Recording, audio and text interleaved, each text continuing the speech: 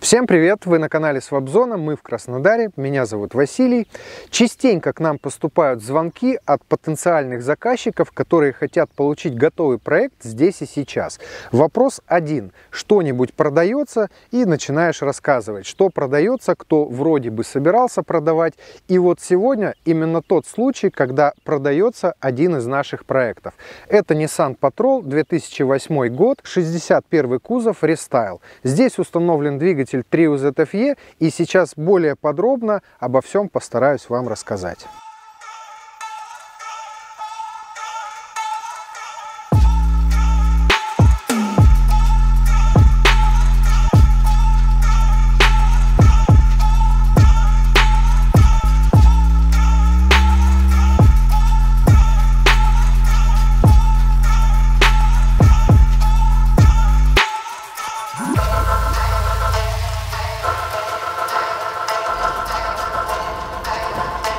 Я потихоньку начинаю превращаться в джипера, и будет очень страшно, если мне понравится.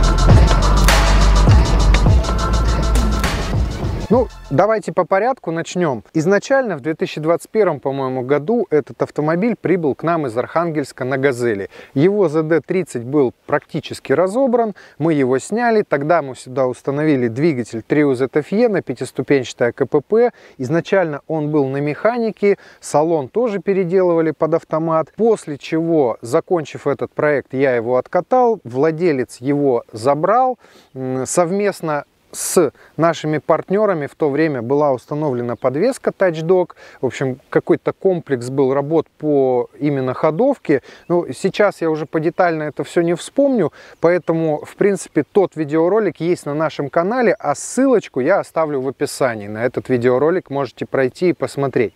Но сегодня этот автомобиль несколько изменился. То есть изначально, когда мы его выдавали, это был стандартный автомобиль с небольшим лифтом подвески на стандарт стандартных патрулевых колесах, то сегодня автомобиль преобразился. Конфигурация двигателя 3UZ под капотом классическая, то есть установлен двигатель с АКПП через переходную плиту, сохранена штатная раздатка от патруля, карданные валы у нас без изменений, то есть не резанные, радиатор остался патрулевый, электровентиляторы установлены еще тойотовские с плавной раскруткой, воздушный фильтр классический в патрулях остался на своем месте, в общем, в принципе, все то же самое, что мы делаем сейчас, кроме электровентилятора, сейчас ставим помощнее, и педаль газа установлена еще старого образца, но пока автомобиль у нас, в техническом задании у нас есть этот пункт, и педаль газа мы обязательно заменим. Выхлопная система на этом автомобиле построена тоже классическим образом. Это обычный глушитель от 120-го Прада, как мы всегда делаем, максимально тихий, потому что этот автомобиль изначально строился для леса и круизных каких-то поездок, крузер назовем, да. Стоит прямоточный резонатор, но катализатора на этом автомобиле еще нет. Катализатора здесь нет, поэтому, если будет нужно, можем доставить. В принципе, по технической части, что добавить, я не знаю. Селектор, кстати, здесь установлен от автомата. Я покупал полностью консоль, только с Дориста, вместе с нижней чашей, с селектором и сама вот эта пластмасса. Пластмассу я отдавал в аквапринт, то есть в том видеоролике я это все рассказывал. Можете еще раз, говорю, об этом посмотреть более детально. Также здесь установлен вот этот блок кнопок на руле для круиза низа. А, ну и, в принципе, что? Классический патрол, который мы делали, получается, три года назад. И он до сих пор ездит. И с того момента, после свапа, он проехал по факту 25 тысяч километров. А всего этот автомобиль проехал 225 тысяч километров. По какой причине продается этот автомобиль? Продается он по той причине, что он просто простаивает. Вообще изначально этот патрол строился как лесной. То есть это средство доставки э, человека на какой-то отдых. Э, в какой-то момент это стал покатушечный патрол по грязи куда-то съездить, но он никогда не участвовал ни в каких там боевых заездах. То есть это покатушки не э, в группе вот этих джиперов, которые я вообще не понимаю. Так сами ребята собрались вчетвером, поехали где-то покатались, может быть, порыбачили. И в какой-то момент средство доставки изменилось. То есть это стали какие-то квадроциклы, какие-то еще виды техники, а патрол, он нарядился, но при этом начал стоять во дворе. Э, когда автомобиль стоит и простаивает, все прекрасно знают, что толку от этого мало, стоит, как говорится, ломается, резинки сохнут, автомобиль должен ездить, должен работать.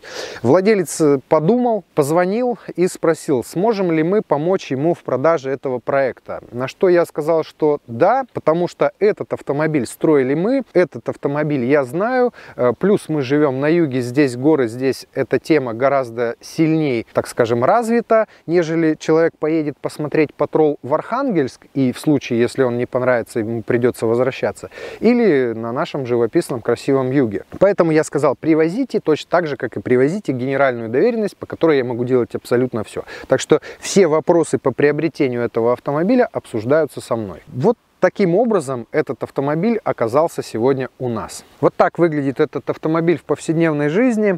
А, есть вот такие вот у него царапины от веток, есть вот здесь вот, видимо, от бревна и царапины, и вмятинка. Но э, на патрулях это как бы стандартная картина, потому что в основном на них и лазят по лесу. А, сейчас этот автомобиль преобразился по сравнению с тем его состоянием, когда я его видел в последний раз. Появились силовые обвесы, появился багажник, появилось много много чего. И сейчас буду потихонечку пытаться вам рассказать. Владелец человек очень педантичный, поэтому все сертификаты э, на вот это навесное, все находятся в бардачке. То есть это все куплено, куплено не абы где, а в нормальных магазинах. Итак, бампер передний и бампер задний, это фирма AMZ, металлический. Здесь по две противотуманки с каждой стороны, а также под номером у нас располагается лебедка, по-моему, Comap 9500. Трос на лебедке установлен не кевларовый, обычный металлический. Лебедка с дистанционным пультом, а также есть обычный проводной пульт, он лежит где-то у нас в багажнике. Задний бампер та же самая фирма, он имеет две калитки. На одной калитке у нас расположено запасное колесо с вынесением номерного знака, а вторая калитка это лестница. В заднем левом крыле этого автомобиля установлен компрессор. Компрессор нужен для того, чтобы включать заднюю пневматическую блокировку в мосту. В переднем мосту блокировки здесь нет. Хабы автоматические стандартные. Резина это у нас BF Goodrich 35 5 АТшка. Багажник это фирма СТК, это какая-то сибирская фирма, точно так же, как и подножки силовые. На багажнике установлен в круговую свет, свет фирмы Аврора. На этом автомобиле установлен топливный бак объемом на 140 литров из нержавеющей стали, а также сейчас э, в багажнике лежит шноркель и уширители арок. То есть, если его потенциальный новый владелец захочет нарядить его вот в это все, то э, можем это сделать мы, можете сделать самостоятельно, либо это все добро просто останется у вас э, как подарок, бонус к приобретению этого автомобиля. Далее, по технической части могу добавить, что на этом автомобиле переварен пороги, переварены и обработаны антигравием. В принципе, по внешке этого автомобиля, наверное, все. Это сильные стороны. Теперь давайте о слабых. Э, то, что я сказал, есть вот здесь вмятина и, достаточно серьезная царапина, но, скорее всего, она заполируется. Здесь, видимо, тоже зеркало получило небольшой удар. Здесь вот есть небольшая сквозная рана. По передней части э, немножко подвыцвевшие фары, но, в принципе, этот цвет в патрулях он никуда не годится, поэтому фары по-хорошему в любом случае менять. Э, противотуманки нужно отрегулировать, и тогда даже с этими фарами будет добротный свет. Потом у нас есть брызговики с такими вот э, надписями Nissan из нержавеющей стали. Эти брызговики стоят сейчас только сзади, а также есть еще и передний комплект. И они специально широкие для того, чтобы в случае установки уширителей арок по аркам можно было бы подрезать эти брызговики, тогда будет законченный гармоничный вид. По салону автомобиль тоже немножко претерпел некоторые изменения. Сиденья, как вы можете заметить, это не стандартные, не патрулевые. Это BMW, по-моему, E65, это BMW семерка с ломающейся спинкой. Здесь есть подогрев, есть вентиляция и куча регулировок. Атаманка, спинка, боковая поддержка, в общем, все-все-все. На водительском сидении есть еще и массаж. Эти сиденья устанавливал владелец сам. Для того, чтобы их сюда установить, пришлось снять вот эти вот стандартные кармашки с дверных карт. Сама вот эта регулировка на самом деле не особо удобна. Э, то есть в процессе эксплуатации, когда ты едешь за рулем, если ты не знаешь, как распоряжаться этим сиденьем, то достаточно непривычно. Но поездив на нем пару дней, я быстро привык. То есть ничего сложного на самом деле нет. Дело времени. Конечно, выглядит это немного незаконченно, но, наверное, как-то это дело можно облагородить. Либо в случае, если эти сиденья кого-то не устроят, мы всегда можем установить сюда обратно стандартные, а эти с ними мы отдадим владельцу. На самом деле эти сиденья это очень дорогая позиция, они реально крутые и удобные. Они с установкой стоят почти 200 тысяч рублей. Вот. У них куча, куча всяких регулировок, тут куча кнопок, э, конечно, круто, но не знаю, на вкус и цвет. Э, сзади в багажном отделении у нас есть третий ряд сидений. Калитки открываются вот таким образом. Я, конечно, не джипер, я все-таки любитель комфорта, но показать, по крайней мере, это я вам смогу точно. В багажном отделении этого автомобиля располагаются два сидения, здесь обычно ездят дети, а также лежит фаркоп. Фаркоп устанавливается у нас классически сюда. Э, Все это дело у нас будет мыться, чиститься, наверное, перед продажей. Ну, в общем, в принципе, все стандартно, ничего тут особенного нет. Э, вот, как я говорил, вот в этом крыле у нас установлен компрессор, и здесь вот есть быстросъем для подкачки э, колес. По задней части автомобиля тоже вот здесь должны были быть установлены, скорее всего, какие-нибудь светодиодные фонари, но руки не дошли и уже не дойдут, и частично переделаны вот эти у нас фонари. То есть здесь габарит, здесь повороты с обеих сторон, здесь у нас стоп. А задний ход э, не подключен никуда, то есть он штатно был подключен. Сейчас планировалось все это дело перенести сюда, поэтому временно человек использует э, верхний свет для того, чтобы ехать назад. Давайте покажу, как выглядит под капотом здесь все. Все, как мы когда-то и делали. Э, то есть это обычный 3UZ на пятиступенчатое КПП. Уже тогда мы переносили косу вот неудобно с патрулями работать, потому что они высокие всегда. Уже тогда мы переделывали косу, то есть ДМРВ здесь перенесен. А, сам блок управления двигателем располагается внутри в салоне. Коса у нас удлинена, вот ее точка входа. Далее, сейчас у нас есть проблема по клапану VVTI, это получается пассажирская сторона, клапан уже заказан, а, ну и я уже сказал, что педаль, педаль газа, это дело тоже у нас есть, мы это все поменяем, кондиционер здесь работает, то есть сейчас мы сюда ехали с холодком, диагональ патрубков на радиаторе стоит правильно, это ТБшный у нас радиатор, ну и адсорбер, адсорбер установлен, то есть все в принципе как мы делаем обычно. За исключением того, что вот здесь вот я вижу появились какие-то э, релюшки. Это абсолютно не мой стиль. Это, судя по всему, делали вот это, наверное, освещение на крыше. Э, либо это противотуманки, а также э, вот здесь вот подписано реле радиатора. Ну, здесь, в принципе, это, наверное, делал я. По подкапотному пространству, в принципе, рассказать нечего. На вопрос, э, употребляет ли масло этот двигатель, владелец сказал, что нет. За 25 тысяч явно можно было бы понять, ест он или не ест, потому что если ездить по лесу 25 тысяч километров, то это прилично.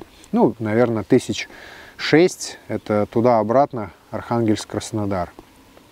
В принципе, все как было, так и осталось. Немножечко подморалось немножечко что-то подзапылилось, но в целом э, обычный стандартный свап на 3UZ FE. Не надо ждать. Ну и, естественно, цена. Вы, наверное, все уже устали ждать, да когда же он скажет, сколько он стоит. Стоит этот автомобиль вот прямо сейчас, вот так вот, прям вот как есть, он стоит 3,5 миллиона. А, если мы что-то будем делать э, по желанию потенциального заказчика, то, естественно, нужно все обсуждать. Какие-то допы, может быть, что-то убрать, что-то доделать, может быть, нужно будет сделать антикор. У нас есть теперь в Краснодаре организация, которая занимается антикором, делают качественно, качественными материалами. То есть, э, допустим, если взять сейчас этот патрол и заантикорить, то мы просто так скажем, делегируем эту процедуру в эту организацию и спокойно скажем, что все сделано качественно и качественными материалами. В салоне сиденья, как я уже сказал, мы можем заменить, можем сиденья отдать в реставрацию, салон все равно не новый на этом автомобиле, поэтому все вот эти вот вопросы нужно обсуждать. Ходовую мы в любом случае перетрясем, а, потому что сейчас на автомобиле по ходовой есть некоторые моменты, но э, к моменту, когда мы мы будем выдавать этот автомобиль, в любом случае уже будет сделана вся подвеска, а также, скорее всего, будет уже установлен шноркель. А, но у ширителя арок это по желанию. Поэтому в описании к этому видеоролику будет мой номер телефона прямой. Звоните на него, задавайте свои вопросы по поводу этого автомобиля. Мечтателей я прошу оставить свои мечты в комментариях. Пишите, рассказывайте, что это очень дорого, дорого или нет. Нормальным, пожалуйста, welcome, звоните, будем разговаривать. В принципе, учитывая сегодняшние цены на автомобили, я полазил на Авито, посмотрел, сколько стоят подобные проекты, но я не нашел ни одного с открытым капотом, потому что, скорее всего, что-нибудь там да не так. Здесь же наоборот, все прозрачно, все показываем, все рассказываем э, и говорим, что можем сделать. То есть догнать до четырех этот проект вообще не проблема. Есть чем позаниматься, можно задетейлить, можно все перетянуть, покрасить. Автомобиль сейчас стоит на учете на юридическом лице. В принципе, продажа по безналичному расчету тоже запросто может произойти. Не знаю, там НДС, не НДС, вот эти моменты все можно обсудить. Э, ну, и также и приветствуется и наличка. Газобаллонного оборудования на этом автомобиле нет. И есть вот такая вот штуковина, она очень сильно похожа на мигалку, но это не мигалка, это, видимо, GPS.